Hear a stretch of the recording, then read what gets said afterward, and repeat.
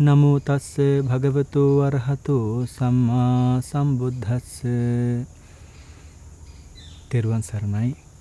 සියලුම දෙනාට දහසක් බුදුවරුන් බුදු වුණු උදෑසන හැම දිනාගෙම එදිනෙදා කටයුතු ආරම්භ කරන්න සූදානම් වෙන පින්වත් පිරිස තේරුම් ගන්න මේ ගතවන කාලය හරීම වටිනවා. මනුෂ්‍ය ජීවිතය බොහොම කෙටි.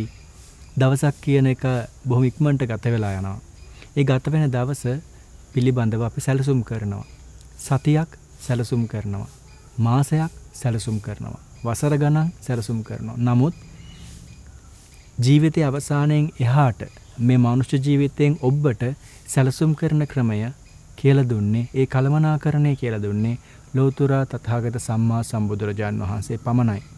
මේ සිත සකස් කරන ක්‍රමය කියලා දුන්නේ බුදුරජාන් වහන්සේ. ඒ බුදුරජාන් වහන්සේ අවබෝධ කළ ක්‍රමය තමයි අප අද මේ භාවනා විදියට පුරුදු පුහුණු කරන්නේ.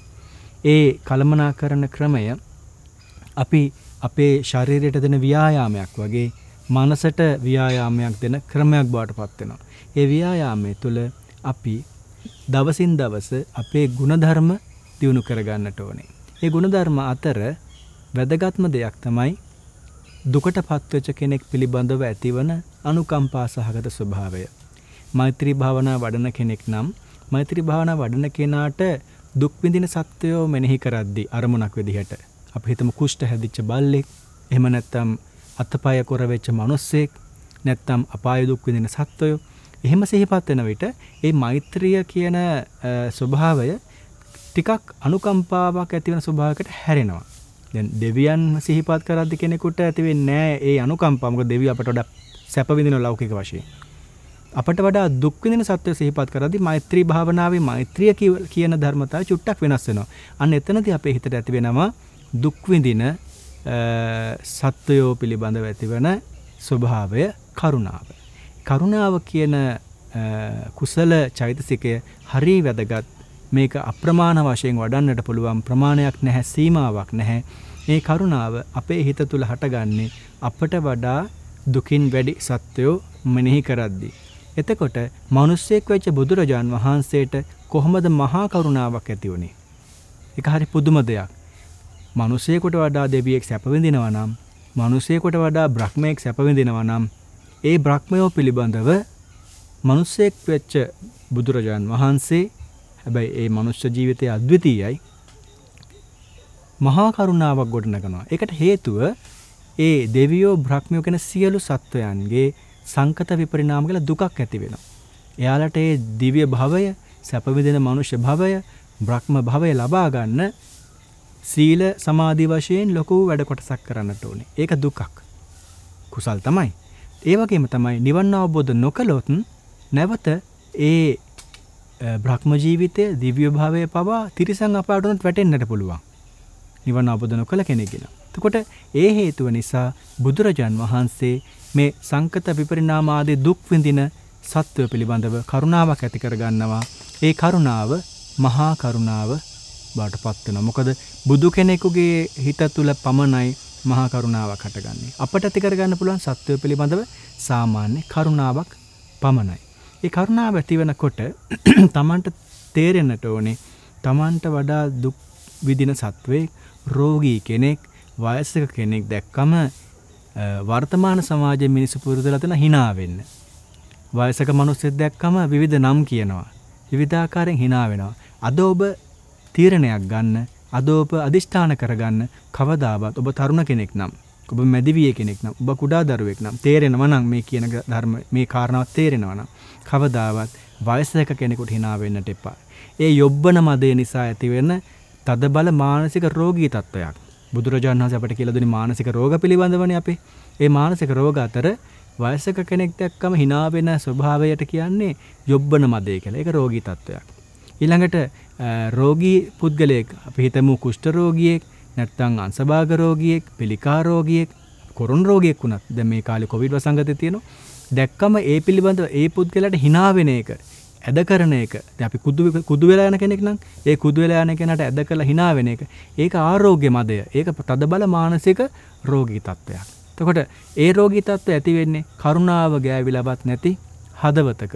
කරුණාව කියන දේ හිතේ හටගන්නව නම් දුක් විඳින සත්වයෙක් දැක්ක ගමන් වයසක කෙනෙක් දැක්ක ගමන් අපට අපේ හිත උණු වෙනවා. මේකට බෞද්ධ වෙන්න ඕනේ නැහැ. අපි අනන්ත අප්‍රමාණ දැකලා තියෙනවා විදේශ රටවල් පුද්ගලයෝ පාර පයින්න බැරුව ඉන්න වයසක අයව පාර පනන හැටි. ඒ කුසල කුසල පිළිබඳ ලොකු අවබෝධයක් නැහැ. මේ මොහොතේ යාලා කාට හරි උදව්වක් කිරීම බලාපොරොත්තුව පමණ එතන තියෙන්නේ. අපට මේ කුසල කර්මයක් කළාම කුසල විපාක ලැබෙනවා කියලා සම්මාදිට්ඨියකුත් තියෙද්දි අපි එහෙම දේවල් නොකර ඉන්නවා නම් ඒක හරි අපරාධයක්. මේ ඒ වගේම තමයි රෝගී තත්ත්වයක් ඇති වුණාට පස්සේ කෙනෙක් පාරක වැටුනොත් අසනීපයක් ඇති වුණොත් ඒ වෙන කෙනා වෙන ඉදිරිපත් වෙන්නට හුඟ දෙනෙක් මැලි කරනවා. ඒ මැලි කරන්නේ මොකද තමන් ඒකට ඉදිරිපත් වෙන්න ඒක කුසල කර්මයක් මේකෙන් උදව්වක් කරාම හොඳයි කියන අදහසවත් ඇති වෙන්නේ නැති නිසා. නමුත් විදේශ රටවල අපි දැකලා තියෙන සමහර මිනිස්සු රෝගී අයට ගොඩාක් උපකාර කරනවා. දුප්පත් මිනිස්සුන්ට විවිධ දේවල් දෙනවා. ඒ එහෙම හැකියාවක් ගිහි කෙනෙකුට අනිවාර්යෙන් තියෙන්නට ඕනේ. ඔබ වේතනයක් ලබනවා නම් මාසයකට සැරයක් මුදලක් ලබනවා නම් ඒකෙන් ඊටා කුඩා මුදලක් ප්‍රමාණයක් හරි දුප්පත් මිනිස්සෙක් වෙනුවෙන් වෙන් කරන්නට හිතෙනවා නම් පුළුවන් නම් ඔබ ආහාර පාන ගන්න ගිය තැනකදී හරි කමක් නැහැ. එතන ඉන්න දුප්පත් මිනිසෙකුට කන්න ටිකක් අරන් දෙන්න පුළුවන් නම් ඒක මම කියන තරම් ලේසි දෙයක් නොවේ වෙන්න පුළුවන්. ප්‍රායෝගික නොවෙනව වෙන්න පුළුවන්. නමුත් ඔබේ ජීවිතේට ඒක ප්‍රායෝගික කරගන්න පුළුවන් නම් හරිම වටිනවා. අපි දන්න මහත්මයෙක් හිටිය ඒ කාලේ ඒ මහත්මයා එක්තරා ප්‍රදේශයක සුපිරි වෙළඳ සැලකට යන්න හදන වෙලාවක ඒ ළඟ පහතක හිටපු මිනිස්සෙක් තව මිනිස්සෙකුගෙන් ණයට මුදලක් ඉල්ලනවා දැකලා තිබුණා. ඒ ණයට මුදලක් ඉල්ලනවා දැක්කට පස්සේ ඉල්ල ඉල්ලන්න ඉදිරිපත් වෙච්ච මිනිස්සයා දිහා බලලා මේ මහත්මයා තේරුම් ගත්තා මෙයාට ඇත්තටම දුප්පත් භාවයක් නොහැකියාවක් තියෙනවා. ටිකක් වයසිනුත් වැඩි තමන්ගේ තාත්තා වගේ පෙනුමයි. තාත්තා එන්න මොනවද අවශ්‍ය කියලා අහලා මෙයා සුපිරි වෙළඳසැලට එක්කගෙන ගියා. මේ මහත් මේ මිනිස්සයත් දුප්පත් මිනිස්සයත් අර බාගෙන කන්න තියෙන වල ඉහගෙන කනවා කියලා කියන්නේ එහෙම පුද්ගලයෙක් නෙමෙයි දුන්නට ගන්න කැමති නැහැ. ඉතින් ඒ නිසා බයක් සැකක නැතුවම එක්කගෙන ගිහිල්ලා අවශ්‍ය දේවල් තුන පහ ಜಾති පරිප්පු සහල් කිරිපිටි වගේ දේවල් මේ මහත්තයා අරගෙන දුන්නා. අරගෙන දීලා ගෙදරටම ගිහින් ඇරලා තිබුණා. එතකොට මේ යන ගමන් මේ මහත්මයා කියලා තිබුණා එයා බොහොම දුප්පත් කෙනෙක්. මගේ නෝන බලාගෙන ඉන්නව මොන හරි උයන්න අරගෙන එනකන්. නමුත් එයා හිඟමන යන කෙනෙක් නෙමෙයි.